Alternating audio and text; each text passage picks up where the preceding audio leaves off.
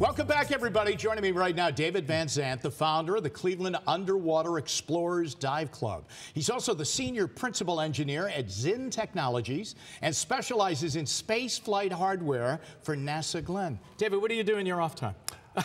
do you have any off time? Well, no, thanks very much for having me, but uh, that is my off time, I guess. What credentials you have, and we're going to talk about a Lake Erie shipwreck, the Margaret Olwill which went down in 1899 and you came upon the ship. Tell us about it. Well, I did. My organization came across the ship. It was actually Rob Richley, who's part of our organization. From he's in California right now, but comes back to Cleveland every summer to, to search for shipwrecks, and he's been looking for it for 29 years. 29 years. And we've been looking for it for about 11 years. And how do you find it? How do you find it? Oh, we sit there and go out and we do historical research to determine the location of where it's at, you know, a good approximate location and to give us a starting point because it takes about two hours to sit there and search a square mile of, of Lake Erie. Why is that? Why is that? Is it so difficult in Lake Erie? Uh, it, that's the same anywhere. It's just the technology. You can only you can only drag a side scan sonar towfish so fast, and you can only search out so wide on either side. So you've got to. That's the time it takes. Historically, why did it go down? How did it go down? Uh, it was making a. It was going from Kelly's Island to Cleveland, carrying a load of stone. This and is it, right? This is yes, this, is a shot of it. Okay. Margaret Olwill. So right it was it was going through the islands. It was going through the islands. It sit there and, and came uh, uh, out. It was real nice weather and everything, and all of a sudden a, a north northwester blew up and switched to a big nor'easter like the three or four we've had come through New York. Right. It it blew and during there this was one of the first steam powered boats and it was kind of, they were kind of underpowered because of the infancy of steam technology. It was turning around and finally decided to head back to Kelly's Island.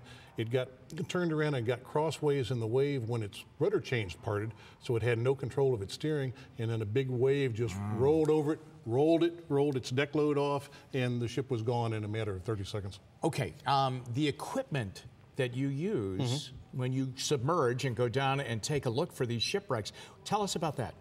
Uh, we normally go down with our normal, you know, our normal diving equipment and our normal stuff. This is what we do to search uh, for our equipment right here. So we've got uh, side scan sonars, magnetometers, uh, and, and at least three or four laptops on the boat at all time when we when we're sitting there out, out searching for it, and then we switch over to our dive gear when we go diving. What is it like when you come upon a wreck? It's it's very exciting when you when you come across one because this is the first time you've seen something in you know in hundreds of years. Yeah. And so you know the trepidation's there, and it depends on what the vis conditions are when we've dove this wreck for the first time, uh, we only had about two foot of visibility.